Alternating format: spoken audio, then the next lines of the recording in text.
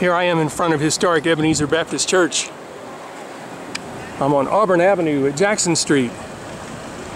And now we're encountering the streetcar tracks. If you're on a bicycle, what I would strongly advise to do is to turn left here on Jackson and continue westbound on Edgewood Avenue. Just be careful crossing the tracks. I'm taking the easy way out, doing the left turn in two stages. But I still need to get 90 degrees to the rails. So I will. And there we have it. We've got a bike lane here, although somebody's driving the wrong side of the road on it.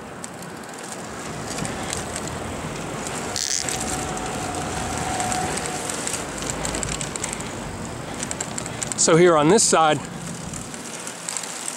we don't have any problem. You can see this is Georgia State Bike Route 1. Look at all the wires up there. Isn't that amazing? Yeah, it looks like the tracks get a little close right there. But once we're here on Edgewood, the tracks are out of the way and it's no problem.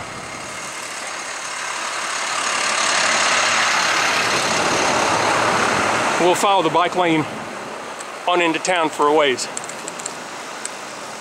And here where Interstate 75 and 85 crosses over, you still got a bike lane, there's still enough room, and the tracks are easy to cross.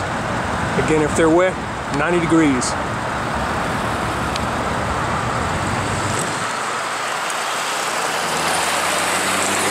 And here we go. No problem.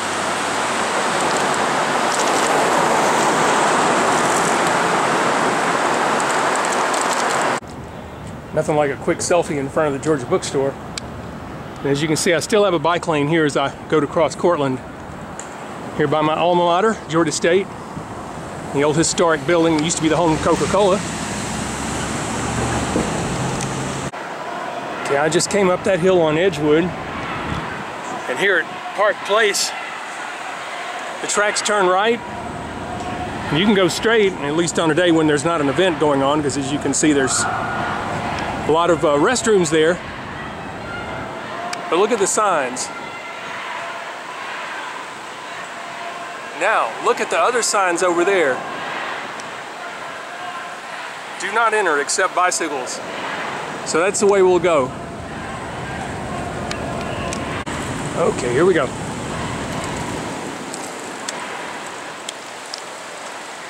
Now let's see just what we have here.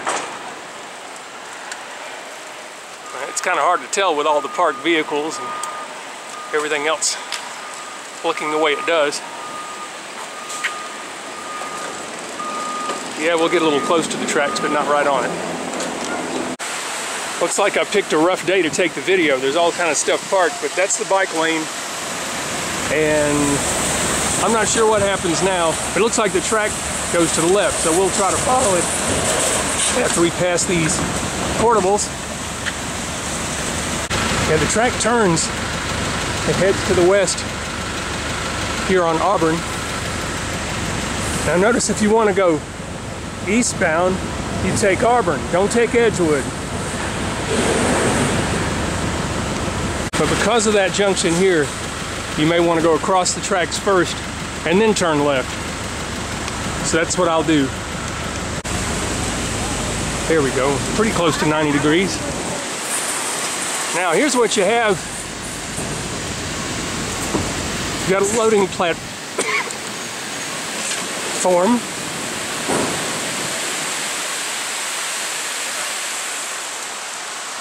Not too much room.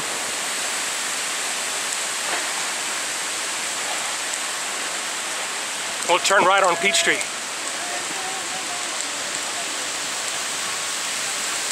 Sorry about all the wind noise.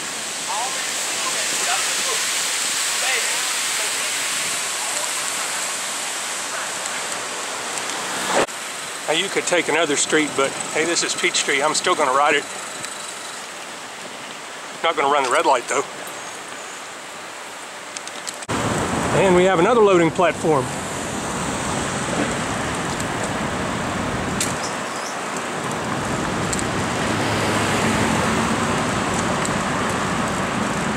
And a special signal because looks like the route turns and I'm gonna stop.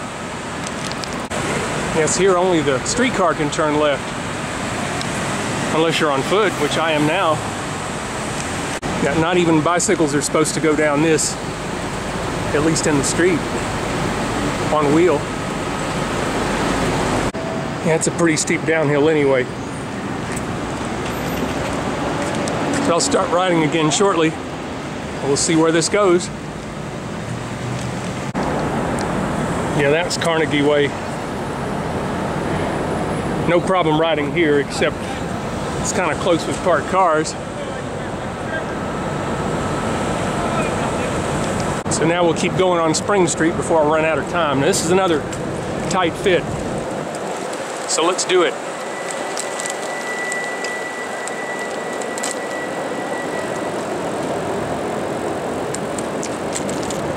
And stop sign.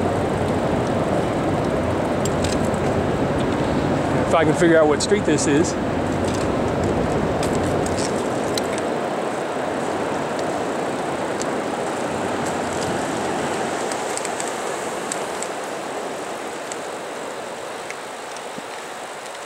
And yet another red light as we cross William Street. And I'm on Andrew Young International.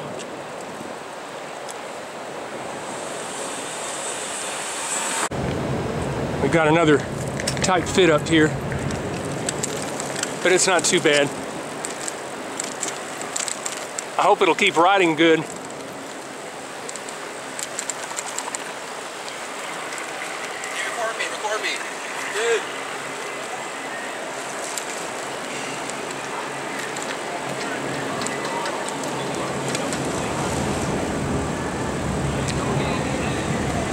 Now I don't usually pass motor vehicles on the right, but I am this time. And as you can see, this road is closed, but look at what the streetcar line does. It turns left and goes up there. And here we are at Centennial Olympic Park Drive.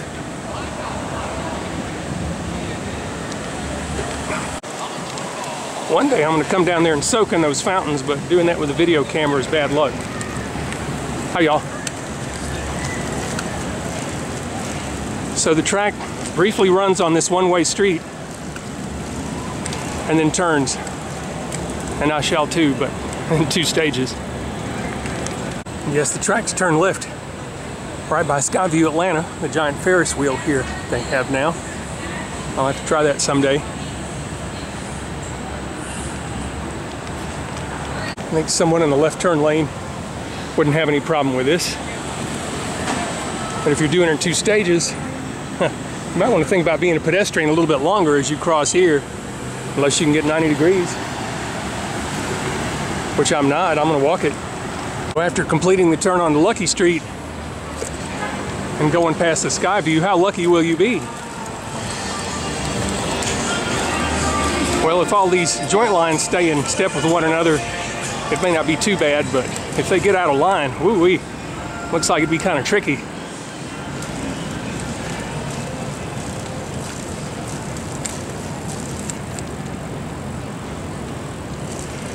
Now notice that I'm riding a little bit out of the door zone, but sometimes you're in it when you're between the tracks and parked cars. Here's our cross Spring Street. Yep, so far I'm pretty lucky. But here's another loading zone.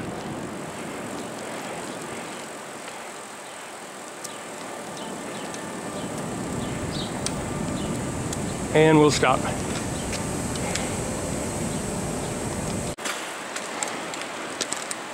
Hi y'all. See, there's an example of the door zone. It's not too far away. Hopefully we won't open it again. Yay.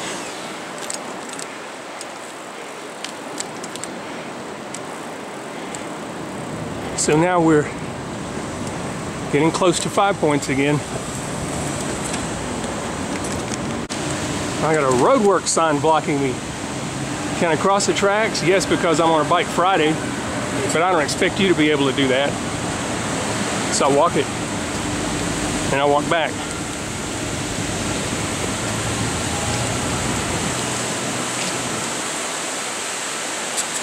and I just crossed Peachtree Street. How about that?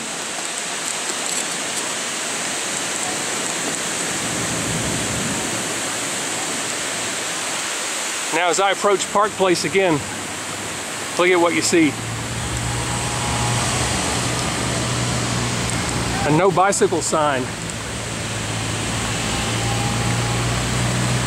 How about that? Yeah, it wouldn't be too fun going this direction on Park Place because you got another loading zone. But if you go straight down Auburn, it's got bikes may use full lane, so let's do it. We go past the old telephone company buildings, and we got one car back, so I'll let them go by. And the lane is actually fairly good size. Oh, they turned good.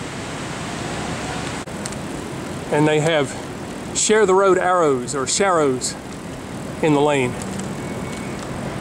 Here as we passed by the present day telephone company building, formerly known as 51 Ivy, because this used to be Ivy Street we're going to cross, but now it's Peachtree Center Avenue that we're crossing.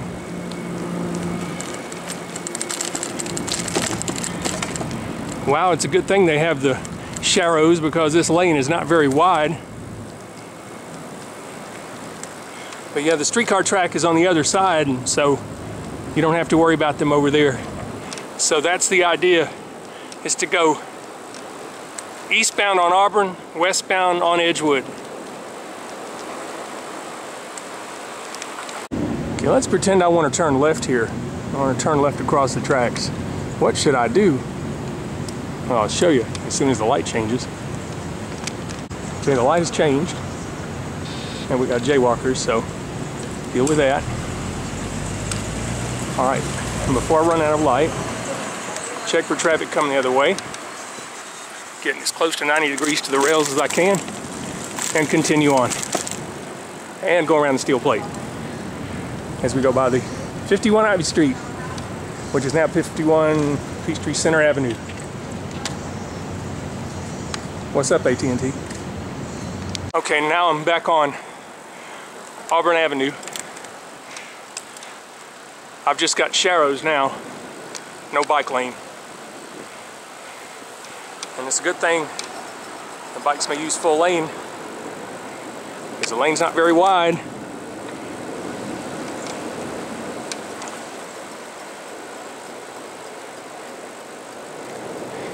At least I have somewhere to go and wait for the light to change, which hopefully it will in just a few seconds.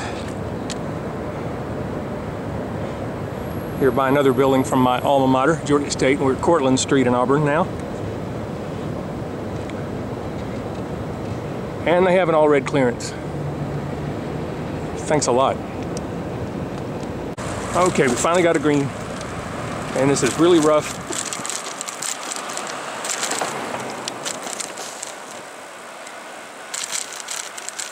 And we'll head on down the hill toward I-75 and 85.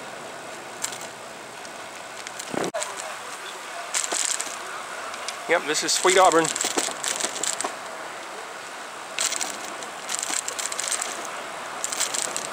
But it rides rough.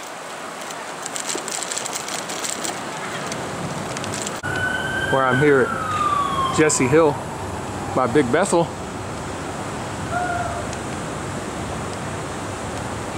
Okay, now that we've passed Jesse Hill, we've got a bike lane again. But again, it's a bit rough because they put in hex pavers. But we'll follow the lane anyway.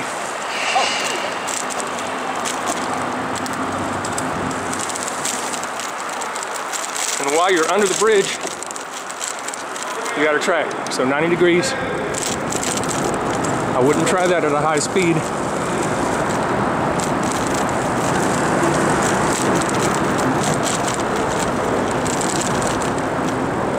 And they have another set of rails here. Since we have a red light, we'll stop and show you that this is a facility that appears to function as a car barn. See the rails go right into the doors. Be another good place to practice some 90 degree crossings, although I might get in trouble. But hopefully not.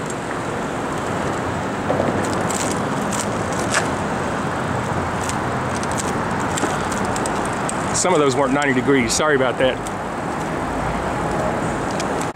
Okay, I'm looking back behind me. I crossed that set at 90 degrees. And we'll continue on. Once again, we're back to Sharrows and no bike lane. And I got a car coming, so I'm waiting a few moments. Now I'm moving up Auburn, crossing Hilliard Street, and back to a bike lane as we go by Wheat Street Baptist. As I approach Jackson Street, we come right back to historic Ebenezer Baptist Church. I get 90 degrees to the rails, cross, and I'm all set. And that completes our tour. And I cannot even walk my bike up there. At least not today. But I can give you a view from the street. So I will. Okay, that's the graveside of Martin Luther King and his wife Coretta Scott King. And that does complete our tour. So just remember, use caution when making left turns and U-turns, especially if you're turning toward the side where the tracks are, and you'll be fine. Now we'll wait a few months and hopefully the streetcar will be running. So long now. Safe miles to you.